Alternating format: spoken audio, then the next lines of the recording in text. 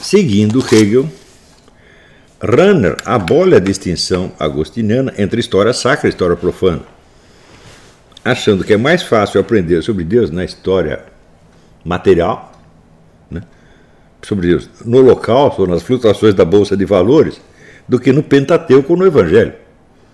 Imagina, o Evangelho é um livro pequenininho. Né? E se não dá para você entender aquilo lá, como é que você vai entender a história humana inteira? Então, isso é de uma estupidez que também, isso não é a lauda 1, isso é a lauda 2, que ele não contente escrever lauda 1, escreveu lauda 2. Que, afinal de contas, se não há revelação, o que, que, que, que é o Pentateuco, o que, que é o Evangelho? Diz ele, são interpretações humanas. Para completar esse pergunta, como então estudar a história? E aí é Heidegger que vem em seu socorro. Como o único bicho que se pergunta pelo sentido da história ou do que quer que seja é o homem, segue-se que a história tem de ser compreendida com base numa análise da estrutura da vida humana. Estrutura que é de um Dasein. Dasein. Estar aí. Dasein quer dizer estar aí. Isso é, estar jogado no meio da história sem outro guiamento senão o da própria experiência histórica. Então, aí a história para o Karl Rahner é tudo. A história, vamos dizer, é o único tipo de acesso que nós teremos ao conhecimento de Deus. Como nada podemos saber de Deus diretamente, nem Ele pode nos ensinar coisa nenhuma, a fé já não é mais a crença numa verdade revelada, nem a confiança nas promessas de um Deus encarnado. A fé tem esses dois lados. Porque, por um lado, ela é uma crença de fato, materialmente ela é uma crença, mas formalmente ela é a confiança no Deus revelado. Hum? Por que, que eu digo isso? É muito simples. As primeiras pessoas que tiveram contato com nós, Jesus Cristo, por, nosso Senhor Jesus Cristo, por exemplo, os doentes que foram curados por ele, sabiam muito pouco. Algo sabiam do que Jesus estava ensinando, mas sabiam muito pouco daquilo que veio a se consolidar ao longo, tempo, ao longo dos tempos como doutrina da igreja. Então, era mais uma confiança que eles tinham na pessoa. Né? Então, é, por isso que Jesus pergunta: Quem você diz que eu sou? Né? E o sujeito responde: Você é o filho de Deus vivo. Né? Então, isso é o que? É um ato de confiança. Então, mas em Karl Rahner, a fé não pode ser nem a crença numa verdade revelada, porque não existe verdade revelada, nem a confiança nas promessas de um Deus encarnado. Por quê? Não pode ter um Deus encarnado. Deus não pode se revelar a nós de maneira alguma, muito menos fisicamente presente. Deus só está por trás de tudo. É uma forma a priori, é um transcendental. Você já deve estar perguntando, mas como é que esse cara foi aceito como teólogo católico? Eu digo, eu não sei, gente, mas para mim este é o escândalo dos escândalos. Isso é uma demonstração de covardia, traição, burrice é, da parte de toda a alta hierarquia, incluindo os papas. Isso aí não é porque o sujeito é papa que eu vou ter que admitir que ele é muito inteligente. É? E é claro que o sujeito lê isso aqui, vamos dizer, não precisa nem fazer uma análise muito profunda, é só ver as teses finais. Essas teses são todas heréticas, você é um heresiarca, portanto você está fora da igreja, você está excomungado da mesma hora, não tem nem, que, nem o que discutir.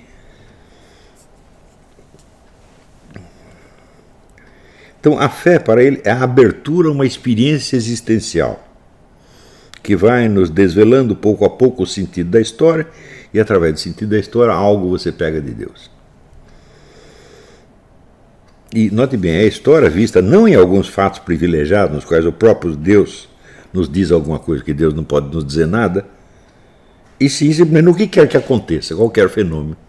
Não é certo?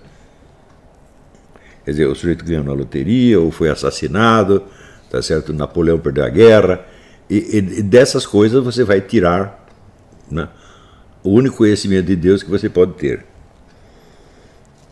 Aí o Dasein vai tirando suas conclusões, as quais, por sua vez, também terão sempre um caráter mais ou menos conjetural e provisório, porque o sentido da história tem ele mesmo uma história, ele próprio é uma história. Hum? Então, não é que através da análise da, da, da, história eu descubro algo de Deus. Não, eu penso algo de Deus que amanhã ou depois eu posso pensar o contrário. Na fé assim concebida, não sobrou nada daquilo que entendíamos como cristianismo, muito menos como doutrina da igreja, Mas dela, Karl Rahner tira algumas conclusões que, se não lhe render uma excomunhão lata sentença, não sei que raio de efeito podem ter tido sobre o destino da sua alma. Mas preste atenção, é importante você estudar esse negócio de Rahner, para você ver que o problema da igreja, a autodestruição da igreja, foi muito mais fundo do que vocês imaginam. Né? E isso não é de hoje. O período de maior atuação do Karl Rahner foi entre os anos 50, 60 e 70. Hum?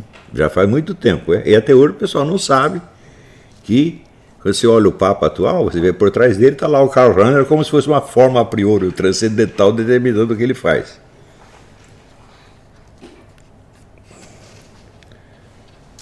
Uma dessas conclusões é que o Evangelho não tem sentido, exceto quando lido desde alguma situação existencial concreta. Eu sempre pensei que foi o contrário. Aqui.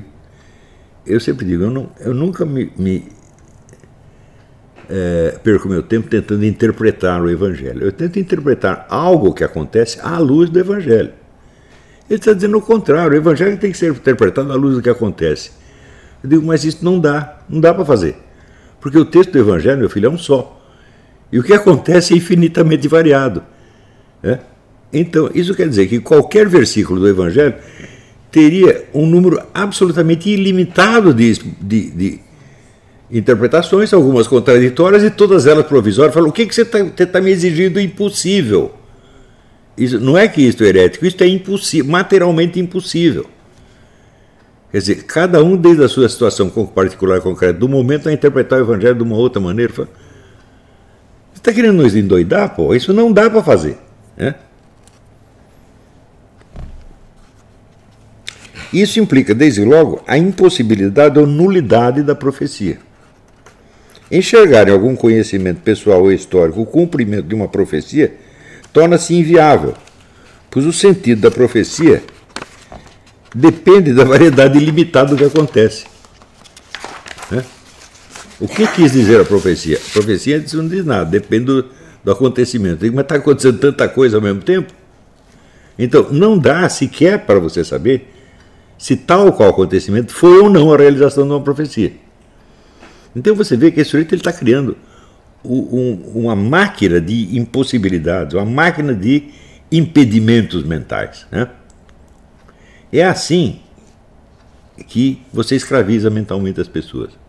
No curso A Guerra sobre a Inteligência, eu vou mostrar o número desses tipos de instrumentos paralisantes que existem em circulação hoje em dia, sob o nome de filosofia, de teologia, de ciência social, um monte de coisa. Né?